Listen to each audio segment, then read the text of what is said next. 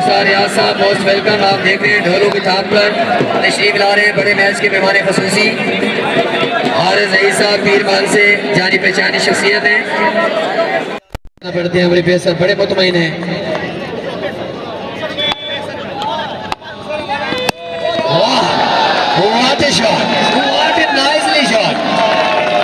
عوام حضرات اگر دل خوش ہوا تو تالیاں بجا دیں جس کا پیٹا کے لیے آپ نے تالیاں بجائی تھی، تو ٹی ایم کے لیے بھی تالی حق بنتا ہے، جو کتنا اچھا چکا لگایا ہے۔ سیکس نمبر سیکس پینڈا کا حساب ٹی ایم نے برابر کر دیا ہے۔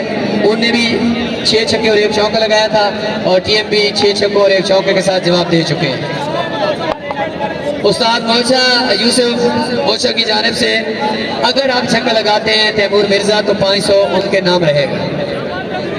دونوں ٹیمیں بلڈا بہت اچھی فائٹ آج بادل پیر بال نہیں برسے، لیکن پاکستانی بلے باز ضرور برسے۔ عمر پیسر خود کو بچانے کے لیے پھر سے گولنگ ہینڈ پر۔ بڑی فائٹ بڑا میچ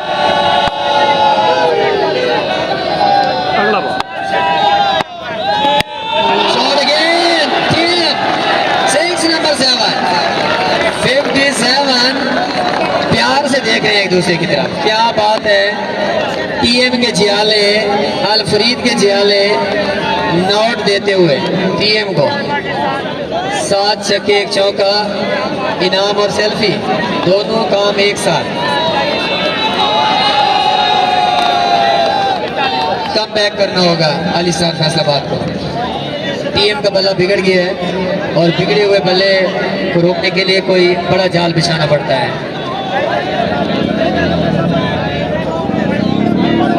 کوشش جاری ہے دو رڑی میں والدہ سکور بڑھتا ہوگا ففٹی سیون تیسرے اوور کا کھیل جاری ہے دو گئی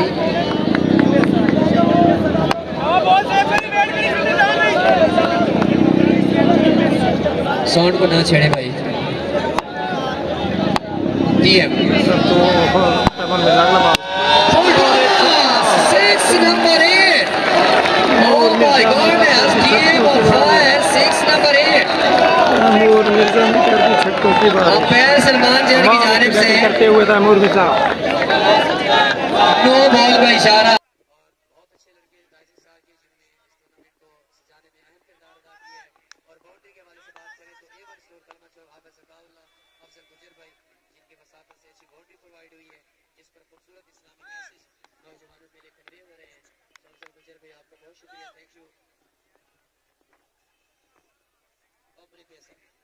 تیمور مرزا تو عمری پیسہ ہے اگلا بال اوہو کمال کا شاٹ کھیلا ہے کمال چھ رنز کے لیے کھیل دیا تیمور مرزا نے اور پہلی پنڈی نے کیا کیچ ڈراپ ہے پہلی پنڈی نے چھ رنز کے لیے کھیل دیا تیمور مرزا نے انتالیس رنز ہو چکا ہے تیسرے اوور کا کھیل جاری ہے بہت ہی زبردست بال کر گئے ہیں عمری پیسر بہت ہی زبردست بال کر گئے ہیں۔ ایک اگریسو باڈی لینگویج یوز کرنا چاہتے تھے تیمور مرزا بٹ اس مرتبہ کامیاب ہے عمری پیسر دونوں ٹیمیں well done score sixty four تک ہے آخری بال آئے گا تیسری اوور کا۔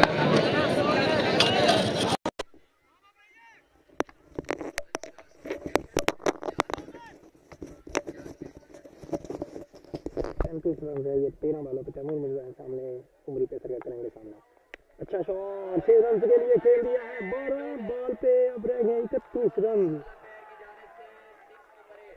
کمال کی بیٹنگ کر رہے ہیں Taimur Mirza.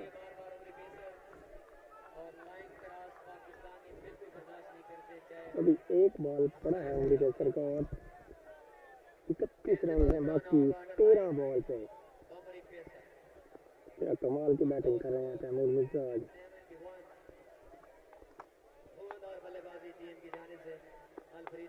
One man army show کر رہے ہیں تیمور مرزا اگلا بار عمری پیسر ٹو تیمور مرزا ایک اور چھکا تیمور مرزا کی جانب سے بہت ہی بڑھیا شان میں